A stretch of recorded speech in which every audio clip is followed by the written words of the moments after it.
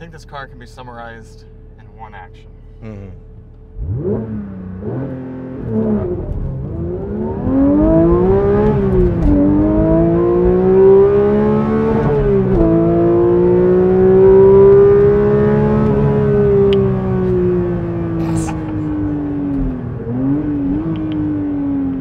Ah, Yeah. hello, ladies and gentlemen. Nissan Altima? We have been. It's probably faster than this. Probably. We are ever so fortunate to be spending our week with a 9,000 RPM red line in this 2022 Porsche 911 GT3 With a six speed manual. with a six-speed manual and big grins. That's all Yeah. I've had this week. Big grins. I don't I don't feel worthy. Yeah. Now we're starting this car, starting this review in the car for two reasons. One, because it really is so special to be in this car, driving it around. And you'll have to forgive me, I'm going to pause a moment while we come into oversteer here.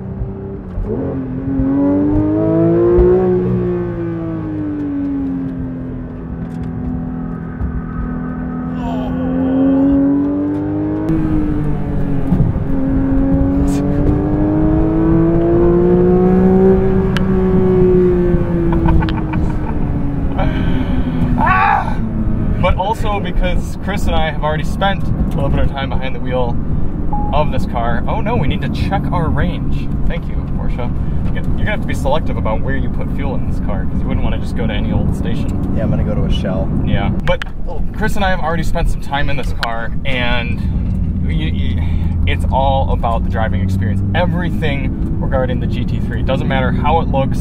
It doesn't matter how it's configured inside the interior materials, the sound system, anything. All you need is Oh my god.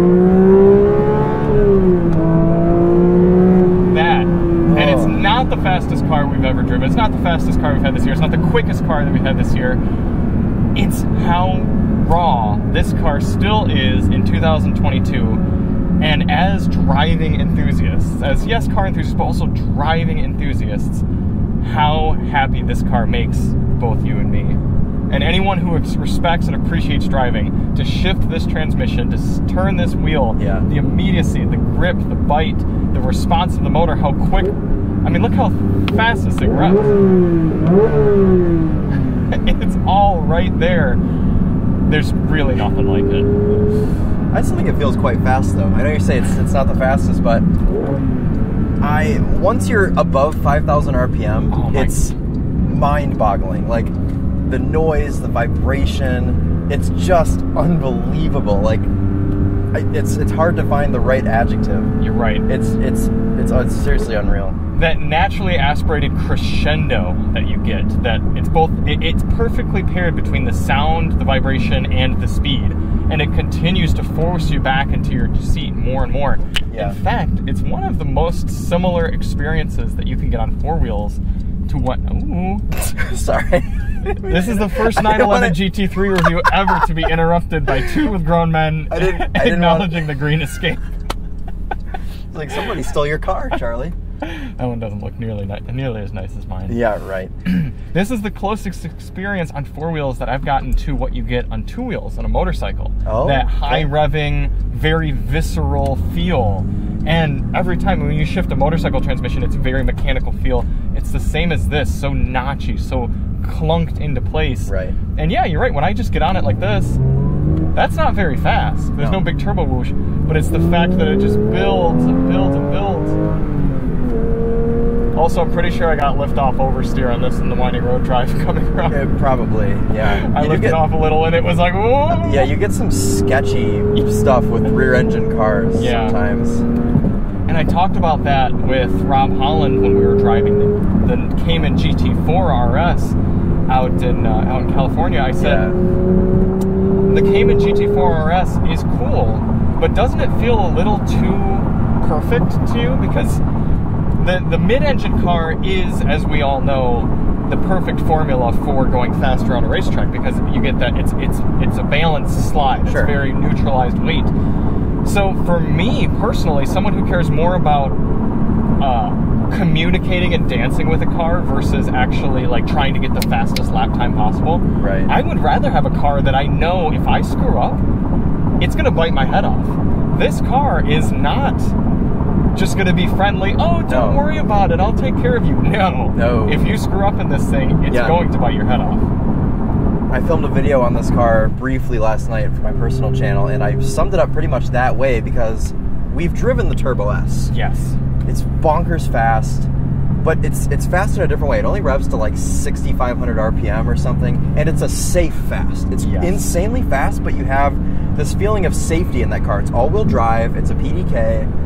You don't feel like you're just gonna die in that car. This car you have to respect. You have to earn your safety in this car, and that's really cool. I love it. I Yeah. really do.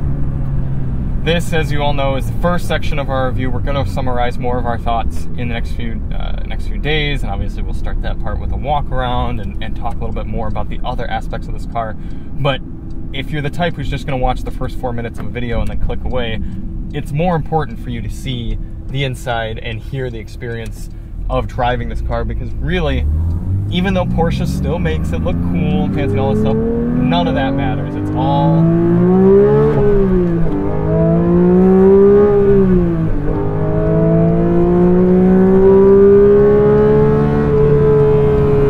the way that the car sort of like stuttered back down as I got off the throttle. I mean, I know that I really genuinely have to be careful pushing it in here. Yeah, And what I'm doing is I'm keeping even throttle. I'm not reducing too much throttle to not get that lift off oversteer. Yeah. I'm keeping the car balanced.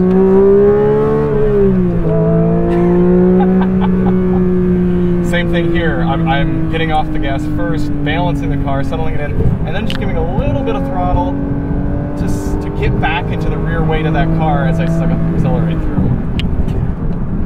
and I'm clenched and holding on. Understandably so. Yeah, it, it this is a car that the only other GT3 I've ever driven was memorable, and and this is this is just that way. Yeah. it really is. And the other thing that's good, I'm gonna let Chris get behind the wheel here in a minute to take us back to DMHQ. But the other thing that's good about this GT3 still being so great is a lot of normies, a lot of people who haven't experienced the, the Porsche lineup would say, "Oh, you should just get a Cayman GT4." No, they're different. they really are different. And I don't know. get me wrong, I'm not saying that the Cayman doesn't have its place. It Yeah. does. It truly does. But there's a reason that this one costs what? Seven? No, like 40 or 50 grand more than the Cayman GT4 RS, Uh, and maybe like 60 oh, or well, 70 the RS more. certainly. Just a regular GT4, it's probably Like- 60 grand more. Yeah, 60 but 70 after grand more. I mean, after markups, it's a three hundred thousand dollar car. I know, but let's not talk markups. It's weird right now in the market. Let's just let's just talk what the car is, MSRP. I mean, this does feel. like two hundred. like you're getting yes. It does feel like you are getting a truly unique product because there are a lot of other cars in this price range that i think are better suited for certain people. I would say there are if you just care about looking cool and Like not this guy. yeah exactly. This guy would be more of a mclaren owner or a lamborghini or something maybe. But this is going to be the car for the driver. And with that i will give the reins over to chris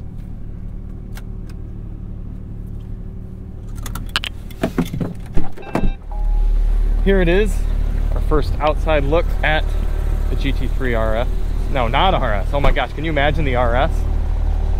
Yeah, let's talk about that when we get in because I have thoughts there too.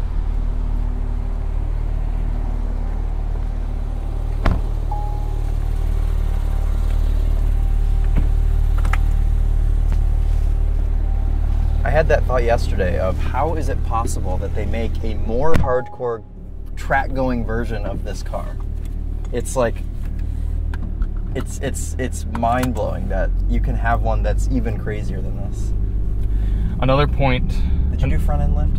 Not in here, no. I think it's okay. Yeah. I think you're fine. Another uh, data point to your point of how much you have to respect this car. This is probably one of the first press cars we've had in a really long time. Missed it. No, we got it that time. I didn't. It's still alive. didn't? There we go. This is one of the first cars we've had in a really long time that I haven't put into track mode. Oh, I haven't either. Yeah, because no. I'm, I'm, like, I, yeah, I just really don't need to be doing that. We'll show everyone what auto blip does. Sure. I'm driving.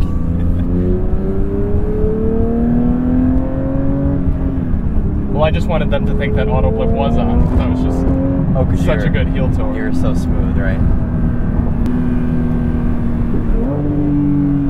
Auto blip. I mean, Very good heel. Toe for oh, blip. did you like that? Did you catch the edge that uh, literally curbed his car coming around the no, corner? I didn't. Should have beat RNL. yeah, you should have. Oh, Oh well. well. He appreciates it, I'm sure. Yeah, let him take a look at the car. You notice how when you roll back, it turns the reverse camera on? I've never rolled back. I've been always moving forward in this car. Okay, well, You're a very good stick driver, Chris. You have a very nice uh, clutch release. thank you.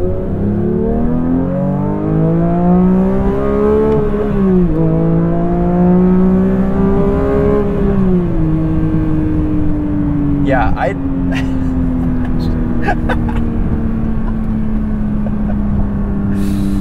yep.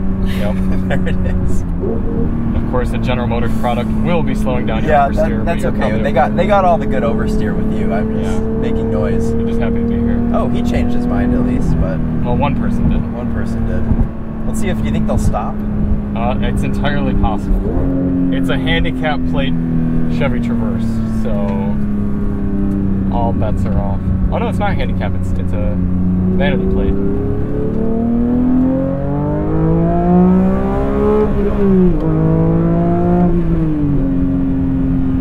Constantly checking the mirrors for any Ford Explorers, Chevy Tahoes. Federales. There is a Crown Victoria coming up, but I don't think they use those anymore, do they? Hope Yeah. they don't. if they did, I'm sure you could outrun it. oh shit, it is coming at me pretty hard. With cop lights on it. No, he's probably just a degenerate who likes to act like he's a cop. I was gonna say they definitely don't use those anymore, do they? No. Hope not. Haven't seen one in years. If so, we'll be utilizing off the record. Yeah, right. I think those are just for men with small complexes who uh, need to feel important with the car they drive. Yeah, that's true. This is a great example of when those people in the internet comments are all, "Yeah, I'm not. I don't want electric cars. I, I, I like my noise, and I want to hear gasoline's the way to go." This is one of the few cars I agree with them on that point. There, there can be no replacement for this car in the electric No, there future. can't. There just, it will not be the same.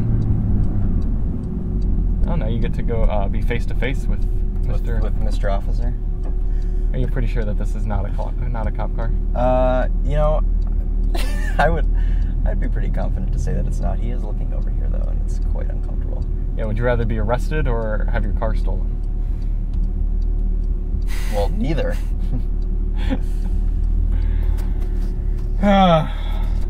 Excellent. Well, we will be tuning back in with you in a few days after Chris and I have fully lived out our fantasies of being owners of Porsche 911 GT3s and uh, tune back into us as we scheme and try to figure out how to leverage our lives to make it so that someday we are owners. Yeah, we're gonna start our own cryptocurrency. Yes. Um, Chris Coin. Toph coin. Toph coin. DM coin. Damn coin. GT3 coin. GT3 coin. Here it is, the last night with the 2022 Porsche 911 GT3. I don't love shooting on Sunday nights because I feel like the energy is not quite there, Yeah. but we're also just a little bit a little bit somber because this is our last time with such an amazing machine. Taking a look around it after we did the first part of the video pretty much exclusively inside the car because that's really what matters with a vehicle like this is Right. how it is to drive. But I've been impressed by nearly every element of this car. Rocking Goodyear Eagle F1 tires. I was thinking they would be some sort of Michelin's, but I looked it up. They were actually the Goodyear Eagles, and very impressed by the grip.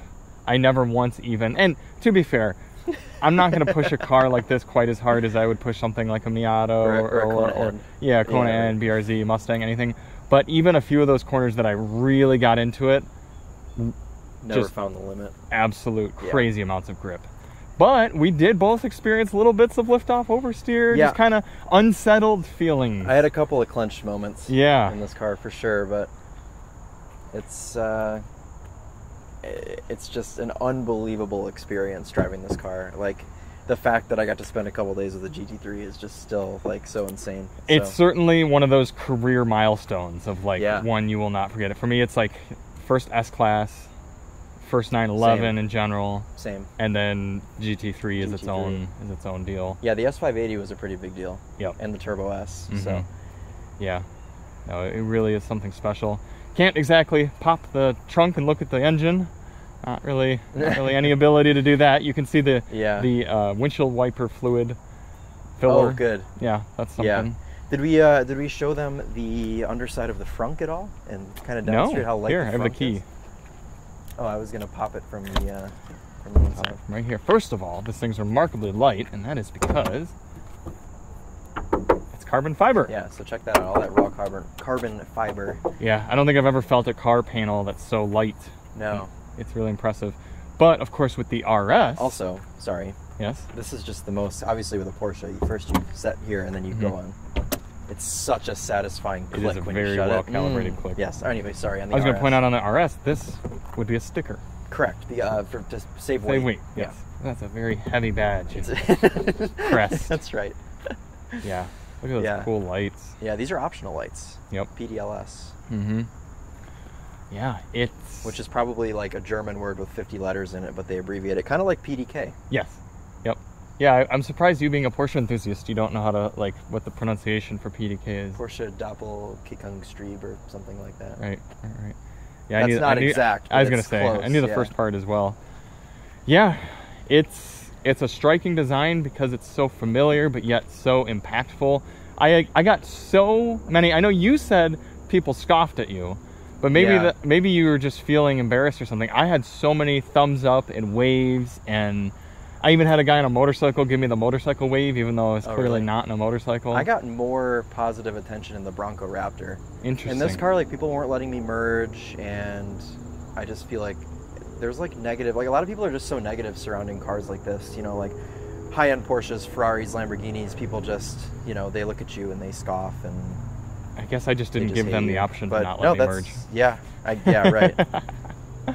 Yeah, this thing is truly incredible. Let's get behind the wheel one last time. We'll do one little, Am I driving first? yeah, go for it. Okay. One last little romp around before we bid adieu to the best driver's car that's on the market here in 2022. Now, to be fair, I haven't driven every single car here in 2022, but I've driven quite a few, and I can't imagine they're really any better than this.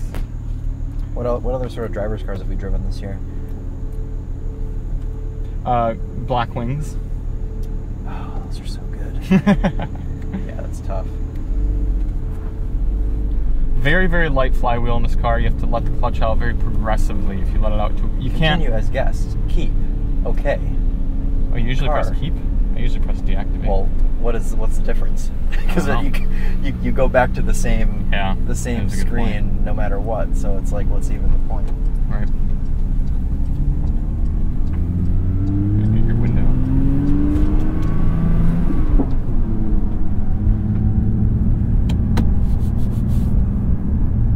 So what is this alleged door rattle that I'm? Oh, I can hear it. I can already hear it. Is the Powerade bottle in here? Nope. We're It's going- not. We're going Sans Powerade bottle for this trip. Oh God. I'm gonna hate the GT3 by the end of this. It'll make it easier to say goodbye. yeah, that's true. I, I guess that's probably a good thing. Yep. Yeah, there is a deafening door. It's door very rattle. uncharacteristic of Porsche to have interior build quality issues because usually like Porsche is known like whenever you go on the internet and you see videos of people like pressing on BMWs Yeah. and stuff and whatever everyone's like oh Porsche would never make any noise and generally they don't Right. so this is like very strange Yeah. Uh, I, I feel bad if, if Frank or Luke is watching this far into the video. I, I feel bad leaving the the creak in there because we used the patented Powerade bottle fix for the first section of the video. But the key is to just keep the engine revved about 5,000 and then you can never hear anything else. Front end was still lifted up during that Surprised we didn't take off. I know Really. yeah this it's it's so satisfying to to drive this car I I filmed two videos on this car for my personal channel, and I I was struggling the whole time because there are like aren't adjectives that are strong enough to describe the feeling this car gives you. At 9,000 RPM. I think the most pure way to describe it is just that little that little laugh and smile that you have on your face. Literally, I, I, I put 150 miles on this car, and every time, either when I was with Alyssa or just driving alone, like she'd look over, and any pull, I just had a grin on my face, just every time without Yep. fail. yeah.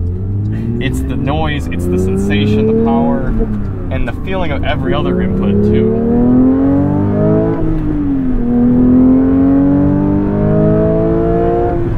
It's funny because where you just shifted those two times is where you'd naturally be shifting at the top of the rev limit in Yeah. most cars, most sports cars even. Yeah. But there, it's almost like you have a NOS button. It's like a reserve, power reserve. That Yeah. like, oh, you need to go even faster. Here's two ex, two thousand extra RPM to Oh my god. use. Yeah. That is ridiculous. And the thing is, is uh, we've heard from Jack at Savage Geese that this thing is great on the street, but fantastic on the track. Hopefully one day we'll be able to find out just I how really hope. fantastic it is. Make a man out of us. Yeah. And you got an excellent photo looking out the rearview mirror right there. That image. It's oh my It just doesn't care. It's not even In fact, the faster you went around that, the more downforce you'd have, probably more traction. You'd be better off. right, yeah. This way. Yeah, being stuck behind GM products is not something you want to have in this car. Yeah, wherever you point this thing, it goes. The Precisely. uh, the little Cal- um, Kalita Kalita uh, bank little bank building right here is a good one to swap in. Oh, okay. You Not can't take it. but the any- next you one. can't take it anymore. You need to drive. No, I'm just letting you know. Especially like after hours like this. Oh, yes. Sometimes I do filming in the back back there because it's just a nice little scene with good asphalt. Yeah, it's like right during golden hour right now. It's Mm-hmm. perfect. Golden hour, golden, Golden car. hour, GT3. Yes. For some of the Proper. practical elements of this car, Alyssa put her purse and sunglasses in this little, little uh, What? mesh thing. Oh, right the there. mesh thing. Yeah, I Yeah. put something in there. I'm forgetting what it was. Okay. Well, you put quite a few things in the front earlier this week. Yes, I put my entire camera bag full of everything a carpet cleaner, a bottle of cleaning spray, and four microfibers. And they all and they only fill up like half the frunk. Yeah, front's practical, man. It really is. I also brought your Asian zing sauce home oh, today No way. in the front. Are you serious? Yeah, but it's at my house. I left it there accidentally. But You brought did- me you brought me half an Asian season. I did. I, hey, I, it was yours. You were owed it. That's really funny actually. You got a cup holder right here. Should you be drinking in your GT3? Yes, or there's one right here if you'd like to block yourself from shifting. Yeah, that's a poor, poor location for that. That should be an option. You should be able to remove that. You can. You can Oh. replace it with an ashtray. Eh, Or like a which is like a cubby. almost. fair enough. Fair enough. For that you have to spec on the smoking package. And you can take this out. Smoking the tires. There, that comes out. I think it's clipped in, but Yeah. um, then you can put a little ashtray in there.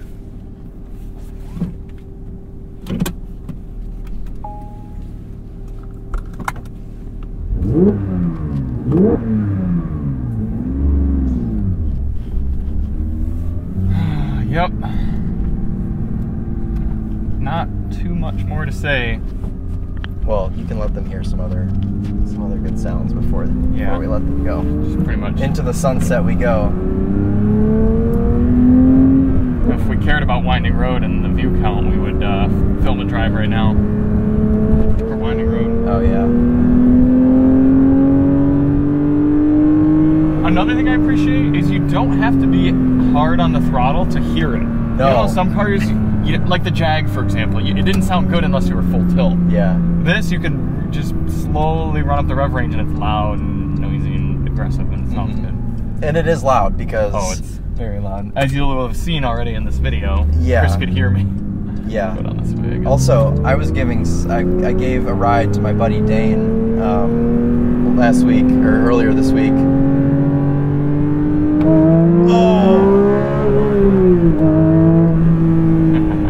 And Emily was at my house, which is like a half mile from the road, and she said she could hear it clear as day when I got onto the main road. Wow. So,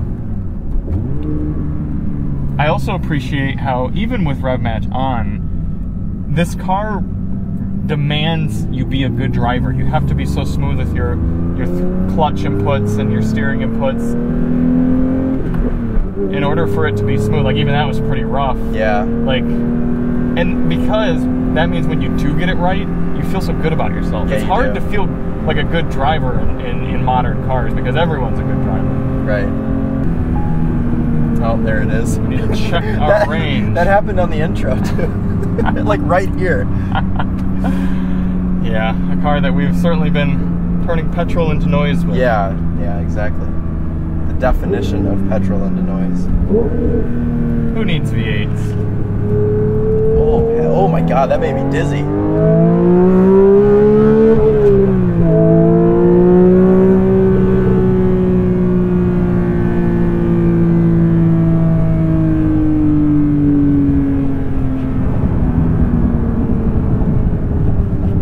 All right, ladies and gentlemen. Well, maybe not one of our most entertaining from a humor standpoint or energy standpoint. Definitely one of the most entertaining from our enjoyment standpoint and hopefully From a the vehicle noise. standpoint. Yeah, yeah. We're gonna end it right here, Sunday evening. No one at the American Center for Mobility. What is this? They do self-driving here? Yes, self-driving testing. This would be convenient for us to test here, wouldn't it? We've met with them about it and talked Well, to them quite a we few times. doesn't isn't me. Yeah, me and Chris. Okay. You notice how none of the door handle controls are actually actually like mechanical? Yeah. Well, is it mechanical when you pull through to the second pull? Yes. Yeah. So the first one is First electronic. pull, electronic, second. second pull. It's a very Porsche way of handling that whole electronic door handle thing. Yeah, it's actually quite nice. Yeah. I don't love the door handles on the outside though, because they retract and then it makes them harder to open. Fair enough. Great. Well, thank you all so much for tuning in. That's about all I have to say with this one. yeah, one. look at that sky. GT3, golden hour. Mm-hmm. Yeah. Drivers, delight. Mm-hmm. It's gonna be hard to top this. It certainly will. Yeah. Porsche, GT3 RS maybe? We'll see you on the next one. Thank you all so much for watching. We are Charlie and Chris with Daily Motor, and as always, Porsche on. This would be a drive-on car. This should be should This should probably just be a drive on. Yeah. All right, cut that last part. Drive on.